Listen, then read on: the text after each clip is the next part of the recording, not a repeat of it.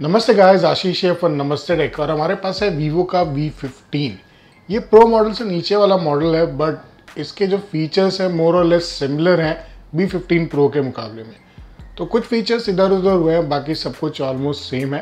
तो इस वीडियो में मैं आपको बताऊँगा दो चीज़। एक तो कुछ ऐसे टिप्स जिसको हम हिडन फीचर्स भी कहते हैं, जिसमें आपको कुछ ऐसे फीचर्स बताए जाएँगे जो कि लोगों को कम पता होते हैं। दूसरा सेट ऑफ़ फीचर्स सबके लिए है, जो फ़ोन पहली बार ले रहे हैं। और उसमें हम बताएँगे जनरल फीचर्स जो आपके regular day to day usages में काम आ सकता है। तो शुरू करने से पहले, अगर आप हमारे चैनल पर पहली बार आए तो मेक श्योर करिए सब्सक्राइब बटन दबाना ना भूले और जो बेल आइकन है, उसको ज़रूर दबाए। आई शुड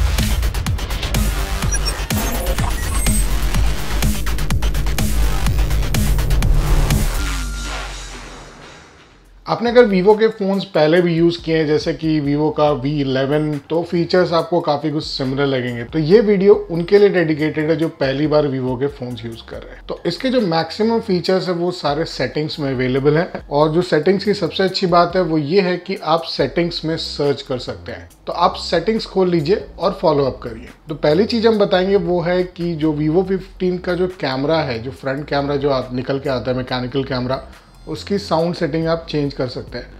तो अगर यहाँ पे आप सर्च बार पे टैप करिए और साउंड पे करिए तो आपको मिलेगा कैमरा पॉपअप साउंड इसको आप सेलेक्ट करिए और यहाँ पे आपको साईफाई मिलता है मशीन मिलता है रिदम मिलता है, जो कैमरा बाहर और भीतर होने के म्यूज़िक को चेंज करता है। बहुत बेयरली नोटिसेबल है बट अगर आप इंजॉय करते हैं सेल्फी लेना शांति में तो इस म्यूज़िक का फ़ायदा उठा सकते हैं।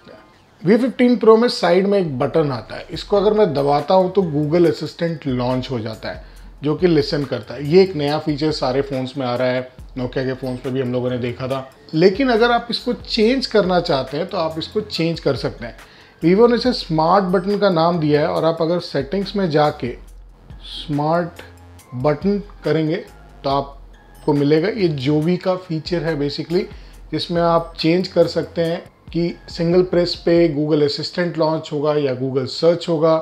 उसके बाद एक और सेटिंग है जिसमें कि अगर आप दो बार बटन दबाते हैं तो इमेज रिकग्नाइजर खुल जाएगा। तो मान लीजिए आप कहीं बाहर हैं और आप फ़ोटो लेना चाहते हैं तो उसको यूज़ कर सकते हैं। जो तीसरा है, वो ये है कि प्रेस एंड होल्ड का, उसमें आप क्या लॉन्च करना चाहते हैं? गूगल असिस्टेंट के कस्टम फ़ंक्शंस का भी आपको एक्सेस मिलता है यहाँ पे। तो आप चाहे तो उनको उस अपने हिसाब से चेंज कर सकते हैं। नेक्स्ट फीचर है स्मार्ट वेक तो ये बेसिकली कैमरा से रिलेटेड है. अगर मैं स्मार्ट वेक ऑप्शन जाता हूँ तो आपको मिल जाएगा स्मार्ट मोशन स्मार्ट वेक के अंदर. यहाँ पे आप जाइए, यहाँ पे आप स्लाइड अपवर्ड टू लॉक कर सकते हैं. कुछ कॉन्फ़िगरेशन है जो आप चेंज कर सकते हैं डिफ़ॉल्ट के मुकाबले. जैसे कि आप स्लाइड डाउनलोड करिए तो एक फ़ोटो ले लेगा लॉक स्क्रीन पे ये काम करता है. स्लाइड अपवर्ड करेंगे तो अनलॉक हो जाएगा. हॉरिजॉन्टली करेंगे तो म्यूज़िक चेंज हो जाएगा. इस तरह के फीचर्स एक फीचर जो मुझे वीवो में बहुत अच्छा लगता है, वो ये है कि ये रीसेंट ऐप्स के डेटा को छुपा सकता है, जो बहुत ही अमेजिंग फीचर है, सब में होना चाहिए। सेटिंग्स में आप रीसेंट ऐप सेलेक्ट करिए और आपको यहाँ मिलेगा ब्लर डिस्प्ले और blur display off private content इस दोनों को आप ऑन कर लीजिए और जिस भी ऐप का डेटा आप हाइड करना चाहते हैं, मान लीजिए मैं चाहता हूँ कि मेरा अमेजोन शॉपिंग हिडन रहे। तो अब जब मैं इसको ऑन कर देता हूँ और अमेज़ॉन शॉपिंग लॉन्च करता हूँ, मान लीजिए, और जब मैं मल्टीटास्किंग में जाता हूँ तो आप देख सकते हैं ये कंटेंट ब्लर है। एग्जैक्टली exactly नहीं पता चलेगा क्या है। ये स्पेशली काम आता है जब आप टेक्स्ट को हाइड करना चाहते हैं। V15 एक पावरफुल फ़ोन है और मैं श्योर हूँ कि आप लोग उसमें गेम ज़रूर खेलेंगे।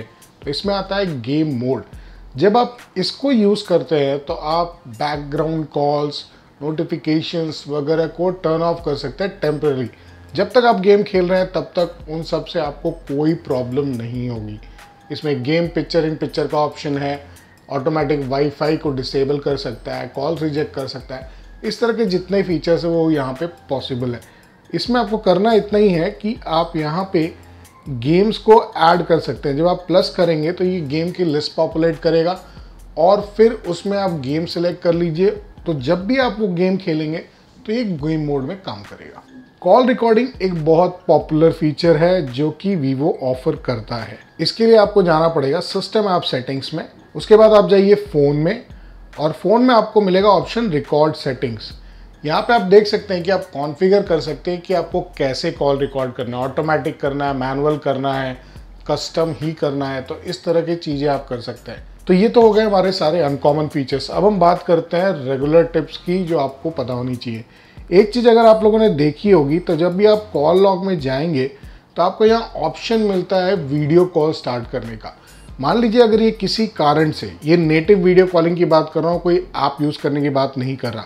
तो मान लीजिए ऐसा फीचर अगर आपके फ़ोन में नहीं अवेलेबल है तो आप क्या कर सकते हैं? तो आप आइए सेटिंग्स में, उसके बाद आप जाइए मोबाइल नेटवर्क में और जो सिम है, जिससे आपको वीडियो कॉल करना है, उसको सेलेक्ट करिए। यहाँ पे आपको दिखेगा वाईफाई कॉलिंग ये अगर इन केस आपका बंद है तो इसको ऑन कर लीजिए। इससे आप वी नेटवर्क पे कॉल्स वगैरह कर सकते हैं। आपको इस फ़ोन में ओटीजी का भी सपोर्ट मिलता है तो जब भी आप एक ओटीजी प्लग करेंगे तो आपको इसको ऑन करना पड़ेगा। एक बार जब आप ऑन कर लेंगे तो ऑटोमेटिकली उस ड्राइव को ये डिटेक्ट कर लेगा, और उसके जो भी कंटेंट है, वो आप इजीली एक्सेस कर सकते हैं। बाय डिफ़ॉल्ट V15 में आप देख सकते हैं बैटरी का परसेंटेज अलग से है बैटरी के अंदर नहीं है। तो अगर आप इसको चेंज करना चाहते हैं तो आपको सेटिंग्स में जाना होगा और बैटरी का सेक्शन में जाना होगा। यहाँ देख सकते हैं बैटरी परसेंटेज का ऑप्शन है, इसको टैप करिए और यहाँ पे आप आउटसाइड द बैटरी आइकन या इनसाइड द बैटरी आइकन कर सकते हैं। इनसाइड करने से एक ही फ़ायदा है कि आपकी जगह वहाँ थोड़ी सी बढ़ जाती है। V15 में आपको बाकी वीवो के फ़ोन्स की तरह सिस्टम नेविगेशन भी मिलता है सिस्टम नेविगेशन गेस्टर जिसको बोलते हैं। तो आप सर्च करिए सेटिंग के अंदर नेविगेशन और आपको यहाँ मिल जाएगा नेविगेशन गेस्चर इसको सेलेक्ट करिए। यहाँ पे आ तो अभी कीज़ है जो मैं यूज़ कर रहा हूँ, इसको आप चेंज कर सकते हैं गेस्चर में। तो यहाँ पे आपको एक ट्रायल का ऑप्शन देता है कि आप यहाँ पे स्लाइड अपवर्ड करेंगे तो ये आपका पैनल ले आएगा।